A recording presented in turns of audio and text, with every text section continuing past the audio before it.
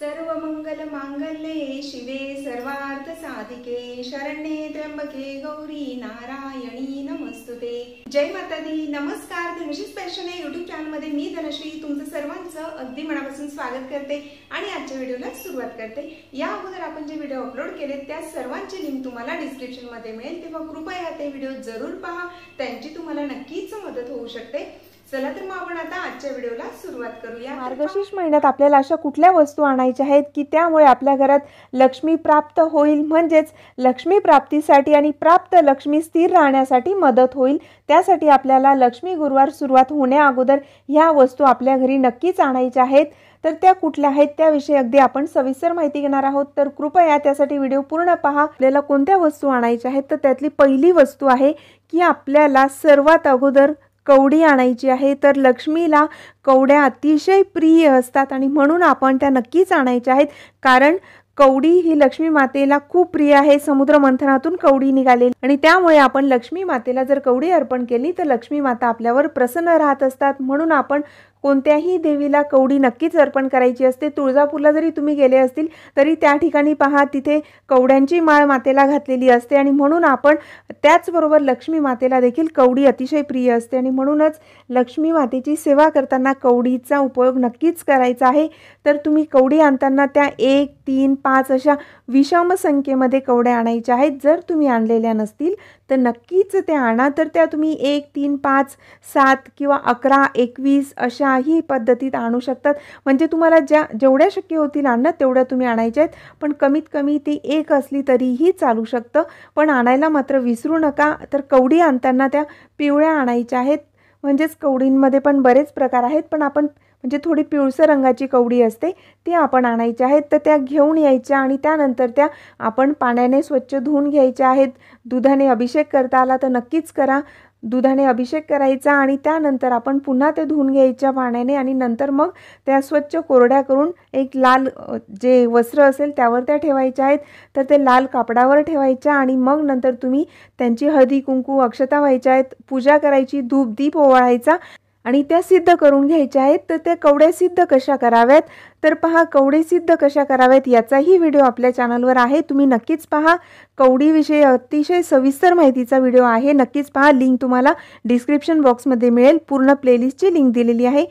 तर कवडी सिद्ध करताना आपल्याला श्रीसुक्ताचे पाठ बोलायचे आहेत. तर श्रीसुक्त हे तुम्ही एक किंवा सोळा वेळाही बोलू शकतात. शक्य असेल तर नक्कीच सोळा वेळा बोला. त्या पद्धतीने तुम्ही बोलले तर त्या कवड्या ज्या तुम्ही आणलेल्या असतील तर त्या सिद्ध होण्यास मदत होत असते आणि त्याचे तुम्हाला अतिशय चांगले अनुभव नक्कीच येतील आणि म्हणून तुम्ही त्या अशा पद्धतीने सिद्ध करून घ्यायचे आहेत. कारण मार्गशीर्ष महिना म्हणजे हा आपल्याला पुण्यप्राप्तीचा महिना असतो ह्या महिन्यात तुम्हाला शक्य होईल त्या पद्धतीची सेवा तुम्ही करू शकतात. तर तुम्ही विष्णूंची सेवा करा त्यासाठी विष्णू सहस्रनाम स्तोत्र बोलू शकतात व्यंकटेश स्तोत्र बोलू शकतात आणि महालक्ष्मी मातेचेही गुरुवार असतात. म्हणून आपण लक्ष्मी मातेची गुरुवारी तर सेवा करायचीच आहे पण प्रत्येक दिवशी देखील आपण आपल्याला शक्य होईल त्या पद्धतीने मातेची सेवा करायची आहे आणि मातेला आवडणाऱ्या वस्तू जर आपण पूजेमध्ये ठेवल्या तर त्या सिद्ध होत असतात आणि लक्ष्मी माता देखील आपल्यावर प्रसन्न राहत असते. म्हणजे श्री फक्त तर बोलायचंच आहे. त्याचबरोबर आपल्याला विष्णू गायत्री मंत्र लक्ष्मी गायत्री मंत्र ही तुम्ही बोलू शकतात. आणि हे मंत्र तुम्हाला दिंडोरी प्रणित श्री स्वामी समर्थ महाराजांचे जे नित्यसेवेचं पुस्तक आहे त्या पुस्तकात तुम्हाला सर्व मंत्र अगदी सहज उपलब्ध होतील. त्यात हे मंत्र दिलेले आहेत. तिथं पाहूनही तुम्ही बोलू शकतात. किंवा मग तुम्हाला लक्ष्मी मातेचा जो मंत्र येत असेल तो ओम श्री महालक्ष्मी देवे नमो नमहा किंवा ओम श्रीम नमः असंही म्हटलं तरीही चालू शकतं. त्या तुम्ही देवाऱ्यातही ठेवू शकतात किंवा तुम्ही तिजोरीमध्ये ठेवलं तरीही चालू शकतं. आणि ज्यांच्याकडे कवड्या अगोदरपासूनच आहेत म्हणजे काहींनी नवरात्रीत आणलेल्या तर काहींनी कोजागिरी पौर्णिमेला विकत आणलेल्या तर काहींनी लक्ष्मीपूजनासाठी देखील आणलेल्या आहेत. कारण त्यावेळेला देखील मी बऱ्याच व्हिडिओमध्ये सांगितलेलं होतं की ज्यांच्याकडे नसेल त्यांनी नक्कीच आणा. जर तुम्ही आणलेल्या असतील तर तरी देखील तेव्हा तर आपण त्या सिद्ध करूनच घेतलेल्या असतील. पण तरी देखील आता लक्ष्मी मातेचा हा महिना आहे. तर आत्ता देखील आपण त्या पुन्हा सिद्ध करून घ्यायच्या आहेत. त्यामुळे आपल्याला त्याचे अतिशय चांगले अनुभव येतात चांगले फायदे होत असतात आणि म्हणून आपण लक्ष्मीपूजनामध्ये कवडे नक्कीच ठेवायचे आहेत की जेणेकरून त्या अगोदर आपण जरी सिद्ध केल्या आहेत तरी त्या आता म्हणजे ते रिचार्ज होत असतात. म्हणून आपण त्या पुन्हा कर पुन्हा ती सेवा त्याच्यावर करायची असते. तर अशा पद्धतीने त्या सिद्ध करून घ्या. आणि कवडीविषयीचा देखील व्हिडिओ आपल्या चॅनलवर आहे. तो देखील पहा. म्हणजे तुम्हाला अजून जास्तीची माहिती मिळू शकते. त्याचबरोबर आपल्याला दुसरी वस्तू आहे की ती म्हणजे कमळगट्ट्याची माळ. तर कमळगट्ट्याची माळ म्हणजेच पा कमळगट्टा म्हणजे कमळापासून जी बी असते ती कमळाची बी असते. त्याला कमलगट्टा किंवा कमळ बी असं म्हटलं जात असतं. तर तुम्ही कमलगट्ट्याची माळ नक्कीच आणायची आहे. ज्यांनी अगोदर आणलेली असेल कोजागिरीला नवरात्रीमध्ये किंवा लक्ष्मीपूजनाच्या वेळेला तर त्यांनी ह्या माळेचा मार्गशीर्ष महिन्यात जास्तीत जास्त वापर करायचा आहे. जर तुम्ही दोन माळ आणलेल्या असतील तर एक माळ लक्ष्मी मातेच्या फोटोला अर्पण करायची आहे. आणि जर तुम्ही सुटे जे मिळतात म्हणजेच ज्या कमळ बी असतात की ज्यांची माळ नसते तर त्या देखील तुम्ही अर्पण करू शकतात. लक्ष्मी मातेची मूर्ती असेल फोटो असेल श्रीयंत्र असेल त्या ठिकाणी तुम्ही शक्य होईल त्या पद्धतीने अर्पण करायचं आहे. जर माळ आणू शकत असेल तर नक्कीच आणा किंवा तुम्ही जर फक्त कमळ बी आणले तरीही चालू शकतं. कमळाचं फूल अर्पण करणं अतिशय महत्त्वाचं असतं. जर ते तुम्हाला सहज उपलब्ध होत असेल तर कमळाचं फूल लक्ष्मी मातेला अर्पण करायला विसरू नका. प्रयत्न करा मिळालं तर नक्कीच ते अर्पण करा. आणि नाही मिळालं तर आपण आपल्याकडे जे कमळगट्टा म्हणजेच कमळाची बी जे आपण आणलेली असते कमलगट्टा ते देखील अर्पण केलं लक्ष्मी मातेचा मंत्र बोलून तरीही चालू शकतं. आणि कमळगट्ट्याविषयीचा देखील व्हिडिओ आपल्या चॅनलवर आहे. तोही तुम्ही पाहिला तर तुम्हाला अजून जास्त माहिती मिळू शकते. त्यानंतरची अजून एक वस्तू आहे की ती आपण आणायची आहे. ते म्हणजेच श्रीयंत्र. जर तुम्ही श्रीयंत्र घेतलेला नसेल तर कृपया करून आता अतिशय सुवर्ण संधी आहे की तुम्ही आत्ता देखील श्रीयंत्र घेऊ शकतात. कारण काहींनी नवरात्रीत घेतलं काहींनी लक्ष्मीपूजनासाठी घेतलेलं पण ज्यांनी घेतलेलं नसेल तर त्यांनी ह्या महिन्यात जरी तुम्ही आणलं तरीही चालू शकतं. मग मार्गशीर्ष महिन्यातल्या कोणत्याही गुरु गुरुवारी तुम्हाला शक्य होईल तर आणण्याचा प्रयत्न करा. पहिल्या गुरुवारी जर नाही जमलं काही कारणास्तव तर तुम्ही अजून दुसऱ्या किंवा तिसऱ्या किंवा चौथ्या गुरुवारी देखील आणू शकतात. पण त्यावेळेला देखील आपण आणून ते सिद्ध करून घ्यायचं आहे. लक्ष्मी म्हणजेच आपण लक्ष्मी मातेची पूजा करत असतो तो गुरुवारीही तुम्ही सिद्ध करू शकतात. शुक्रवारी आणलं असेल तर शुक्रवारी सिद्ध करा आणि मार्गशीर्ष महिन्याच्या गुरुवारी आपण जेव्हा पूजा करत असतो तर लक्ष्मीपूजनामध्ये श्रीयंत्र देखील ठेवायला विसरू नका आणि श्रीयंत्राची स्थापना कशी करावी याचा व्हिडिओ आपल्या चॅनलवर आहे. एकदा नक्कीच पहा.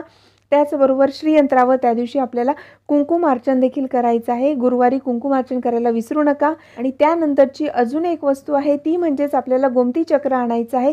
तर गोमती चक्र देखील आणून तुम्ही पूजेमध्ये नक्कीच ठेवा. ते देखील कसे सिद्ध करावे याचाही व्हिडिओ आपल्या चॅनलवर आहे. एकदा नक्कीच पहा. यात मी अगदी थोडक्यात सांगते. पण त्या व्हिडिओमध्ये मी विशेष करून त्याच टॉपिकवर व्हिडिओ बनवला आहे म्हणून त्यात सविस्तर माहिती दिलेली आहे.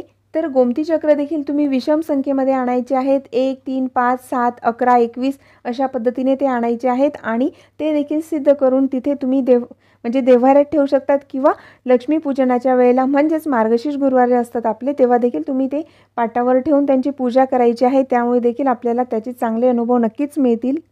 आणि त्यानंतरचा अतिशय सोपा आणि सगळ्यात प्रभावी उपाय म्हणजेच की आपल्याला लक्ष्मी प्राप्तीसाठी हवन करायचं आहे. तर हवन करायला तुम्ही विसरू नका. तर हवन तुम्ही मार्गशीर्ष महिन्यात कोणत्याही दिवशी केलं तरीही चालू शकतं. पण विशेष करून तुम्ही बुधवारी गुरुवारी किंवा शुक्रवारी करण्याचा नक्कीच प्रयत्न करा. कारण बुधवारी जरी केलं तरीही चालू शकतं. तर अशा पद्धतीने एवढ्या तीन दिवसांमध्ये म्हणजेच बुधवार गुरुवार आणि शुक्रवार ह्या तिघही दिवसांपैकी तुम्हाला जमेल. त्या दिवशी देखील हवन करण्याचा नक्कीच प्रयत्न करा. शक्य झालं तर गुरुवारी किंवा शुक्रवारीही करू शकतात. आणि हवन कसं करावं याचाही व्हिडिओ आपल्या चॅनलवर आहे. म्हणजेच लक्ष्मीपूजनाच्या वेळेलाच मी तो व्हिडिओ टाकलेला आहे. तर लक्ष्मी प्राप्तीसाठी हवन कसं करावं हा तो व्हिडिओ आहे. आणि लक्ष्मी प्राप्तीसाठी म्हणजेच आपण जेव्हा मार्गशीर्ष महिन्यात हवन करणार असतो त्यावेळेला आपण खिरीचं हवन करायचं आहे. तर ते कसं करावं? त्यात मी सविस्तर माहिती दिली आहे नक्कीच पहा. तर अशा पद्धतीने ह्या वस्तू आपल्या घरी आणायच्या आहेत आणि जर तुम्ही अगोदरपासून आणलेल्या असतील तर त्या तुम्ही पुन्हा सिद्ध करू शकतात.